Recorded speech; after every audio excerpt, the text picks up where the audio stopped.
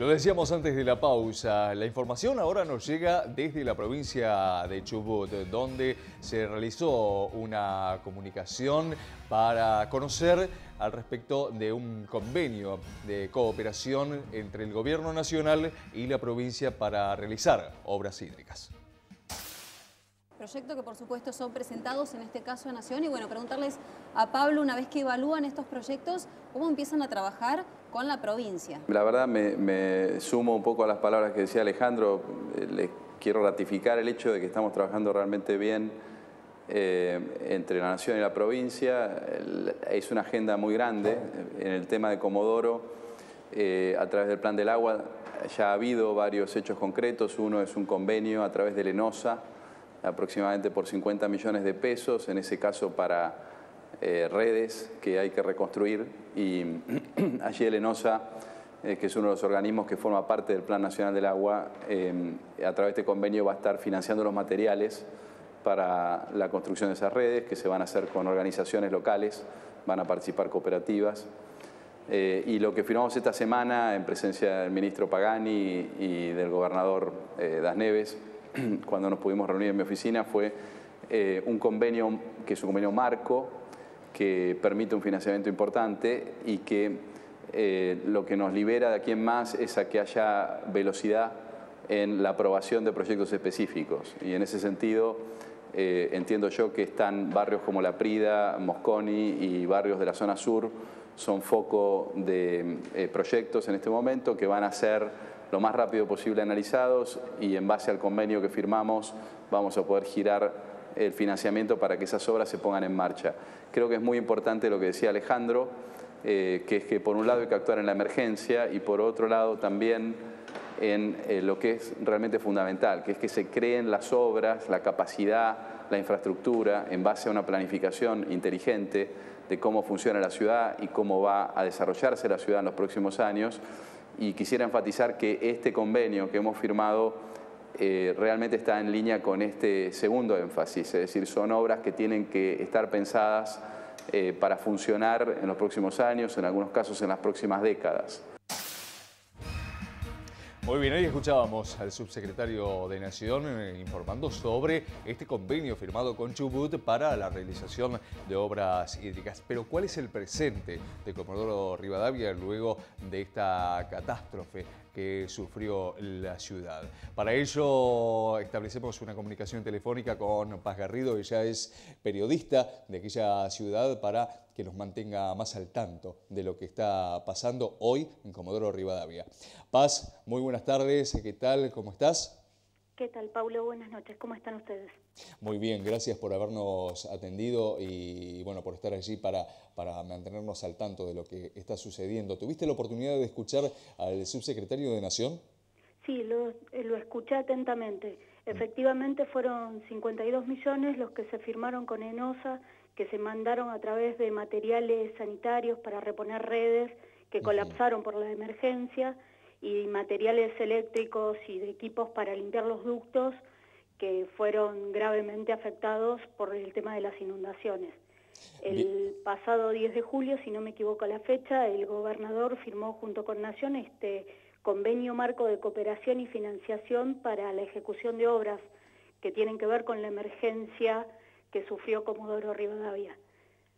En este momento estamos eh, viendo algunas imágenes eh, de lo que atravesó Comodoro Rivadavia en, aquella, en aquel momento y son realmente lamentables. Eh, si bien estas obras todavía no se realizan, falta algún tiempo para que se lleven adelante, bueno, ¿cómo, ¿cómo recae, por ejemplo, en tu persona, que sos ciudadana de la ciudad? Y mira, en realidad casi cuatro meses de la emergencia lejos estamos de que Comodoro pueda retomar su ritmo habitual. Eso se ve en el estado de las calles y en el ánimo de la gente. La verdad que sí hubo muchos esfuerzos porque, por volver a la normalidad, pero aún hay mucha gente que no ha podido regresar a su hogar. Durante los primeros 90 días después de la catástrofe, los gimnasios municipales funcionaron como centros evacuados. Llegamos a tener alrededor de 1.300 personas en los momentos de, máximo, eh, de máximas lluvias y después de a poco fueron retornando a sus hogares. Eh, actualmente existen algunas familias a las cuales el municipio les está pagando el alquiler porque sus casas realmente quedaron inhabitables. Hay dispuestos en la ciudad 13 módulos habitacionales en el barrio La Prida y otros 16 que estaban establecidos para otro barrio de zona sur. Eh, y mientras tanto, el municipio dispuso alrededor de 100 lotes en kilómetro 5, si no me equivoco, eh, para que junto con el IPB de provincia y fondos provenientes de Nación puedan construir viviendas para los damnificados. Eh, pero realmente hay gente que ha perdido todo. En cuanto a lo que fue eh, la primera etapa de la reconstrucción, hicieron un movimiento importante de, de tierra, alrededor de 400.000 metros cúbicos, quitaron de los barrios para disposición final y eso involucró alrededor de 300 equipos pesados eh, y otras 400 bateas, una cosa así. Lo que le produce a la ciudad una erogación inmensa, 300 millones de pesos son más o menos los que se calculan para poder afrontar lo que serían las horas máquinas. De Nación se recibió un primer ATN, un primer eh, aporte del Tesoro Nacional por 50 millones que fueron totalmente destinados a eso y así todo la primer quincena eh, requirió un aporte de 63 mil 63 millones de pesos. Paz, eh, me estabas informando al, comienzo, me decías los primeros 90 días estas personas estuvieron alojadas en los gimnasios. 90 días es muchísimo tiempo sabiendo que eh, no, van a encontrar sus viviendas. 90 días. Sí. Recién cumplidos los 90 días se decidió que las pocas personas ya que quedaban en alguno de los gimnasios municipales retornar a su casa o se le buscara algún lugar en donde pudiera vivir para que los gimnasios municipales retomen las actividades normales. Claro. Eh, ¿Y el estado psicológico de estas personas? ¿Cuál es? realmente la gente está muy devastada. Eh, hay gente que vive en el barrio Juan 23, una zona totalmente residencial, con casas principalmente bajas, que está como en un plato hondo eh, en la zona sur de la ciudad. Esa zona fue una de las más afectadas, en donde el barro quedó ah, tapando puertas y ventanas. La verdad que la gente, con todo el esfuerzo que tiene, que pudo volcarle junto a su grupo de familiar, amigos y demás, eh, de a poco fueron limpiando un poco la zona, tuvieron fundamentalmente el apoyo de soldados del ejército que vinieron de todos los lugares para poder colaborar. Alrededor de 600 eh, soldados prestaron servicio durante los primeros días de, de la emergencia limpiando las calles. Ese, ese trabajo fue fundamental. ¿Y la ayuda psicológica, la ayuda profesional gente que estaba en, en, los gimnasios recibió una contención psicológica por parte de provincia y municipio. Hubo grupos focalizados en la, en la ayuda psicológica para poder sobrellevar la situación. Después, desde el municipio se hizo con los centros de atención primaria recorridas por algunos, eh, algunas zonas específicas, sobre todo con el tema de vacunación y asistiendo preventivamente por el tema de enfermedades, porque todo el barro que inundó la ciudad, toda la greda, traía también consigo eh, focos infecciosos. Paz, eh, bueno, las imágenes que, que, son muy elocuentes son principalmente de la ciudad. seguramente en las afueras de la ciudad ocurrió algo similar y en las afueras de la ciudad eh, es donde se maneja la parte económica de Chubut, que es eh, los campos de perforación petrolera. ¿Qué pasó con eso? Y el petróleo para la ciudad y mismo para la región es el motor económico. Eh, por el temporal se dispuso la paralización total de la producción por una cuestión de seguridad, básicamente, y porque las áreas petroleras se vieron gravemente afectadas. Hubo zonas en donde eh, el temporal abrió grietas de 30 metros de profundidad y cortó ductos. Eh, por una cuestión de seguridad más que nada porque si, para que te des una idea, la fuerza del agua hizo descalzar acueductos y así como hizo descalzar acueductos en distintos tramos, los ductos de petróleo eh, se podían ver resentidos. Entonces era mejor vaciar todas las cañerías y no que eso afectara el medio ambiente. ¿Y eso se puede recuperar? ¿Ya está en marcha? Sí, ya está en, marcha, está en marcha. La producción se paró alrededor de 16 días y en abril eh, calculan que eh, hubo una merma de alrededor del 21% en relación al mismo mes del año pasado. O sea que se perdió en concepto de regalías un 20% de lo que ingresa a las arcas provinciales, básicamente. Que es mucho. Muchísimo. Eh, Paz, eh, la situación actual eh, de los vecinos de la ciudad de, Córdoba, de perdón, de Comodoro, ¿cuál es actualmente? Porque gran parte perdió su vivienda. ¿Qué es lo que hacen? ¿Cómo, ¿Cómo va a trabajar el municipio, la provincia?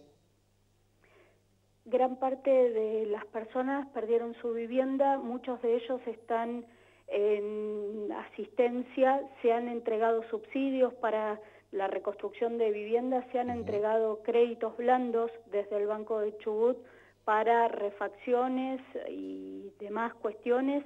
El IPB reveló, eh, eh, relevó, sí, eh, alrededor de 850 viviendas afectadas en un primer momento que están procesando los datos y alrededor de el 50% tiene una destrucción que significa que la persona necesita una solución habitacional completa. Con lo cual, mientras tanto, hay mucha gente que está viviendo con familiares, hay otras que eh, están en los módulos habitacionales que aportó Nación y otros que están esperando. Realmente es una situación bastante compleja, pero la ciudad está devastada. Eh, ¿Cómo continúa esto, Paz? Eh, ¿qué, es más, qué es el otro trabajo que se está realizando además? Porque algunos eh, sectores de, la ciudad también tal vez fueron o quedaron aislados. La trama urbana y las vías de comunicación están todas restablecidas. El único camino alternativo que no se pudo recuperar al momento es el que une la ciudad de Comodoro con Radatili. El resto de las vías de comunicación de la ciudad, tanto para zona norte, para el sur o mismo para el oeste, están en condiciones transitables. Eh, el tema está en que, por ejemplo, los, los pluviales, cuando cae una pequeña lluvia ya desbordan, está colapsado el sistema. Y a eso apuntan las obras y servicios que se eh, quieren realizar un poco para desagotar esos pluviales, para ampliar los caudales. No nos olvidemos que en Comodoro llovió en 15 días lo que llueve habitualmente en 5 años y con una intensidad terrible. No hubo forma de desagotarlo. Esperemos que no tengamos otra vez que pasar por algo así. Hay en marcha un protocolo de emergencias que puso en marcha, que quiere poner en marcha el municipio como para establecer mecanismos eh, que puedan eh, establecer marcos para la contingencia, ya sea tanto de una emergencia climática como la que vivimos, como un derrame petrolero o, o cualquier circunstancia que se presente. Paz, muchísimas gracias por esta comunicación, por tu tiempo. Esperemos eh, próximamente, en los próximos días o tal vez un par de semanas, establecer una nueva comunicación con mejores noticias. Perfecto, muchísimas gracias. Hasta luego.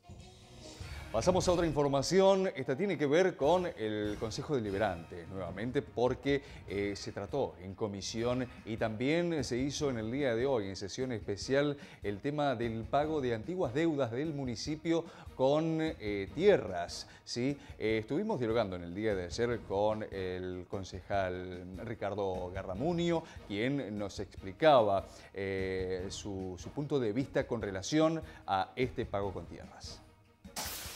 En la comisión y en la sesión pasada propuso la remisión a archivo de estos proyectos, entendiendo primero que citan el artículo 51 y 52, entendemos nosotros, y el inciso 4, donde eh, quieren hacer la compensación de deuda por por terrenos y en ningún lado del artículo de la Carta Orgánica dice esto. Eh, todo lo que no está escrito no es que está permitido, acá estamos rifando patrimonio de la ciudad, patrimonio de todos los vecinos y patrimonio que tiene que quedarse en manos de los vecinos a través de las distintas gestiones que estén en cabeza del municipio. ¿no?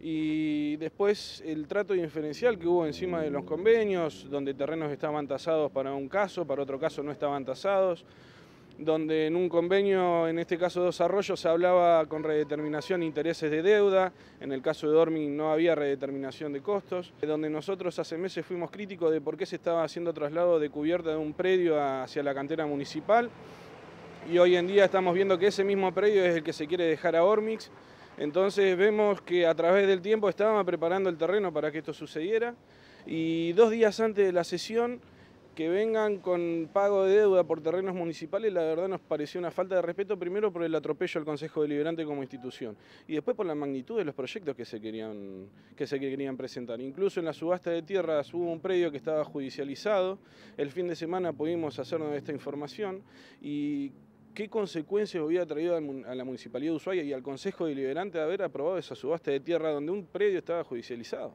¿El monto de deuda de estas empresas el monto de deuda en Dos Arroyos es cercana a los 32 millones de pesos y eh, de Ormix 6 millones y medio de pesos. Pero de Ormix no está la redeterminación de costos ni los intereses de la deuda.